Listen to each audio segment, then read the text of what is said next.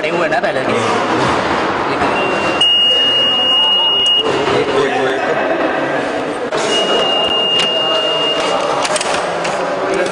Thank you.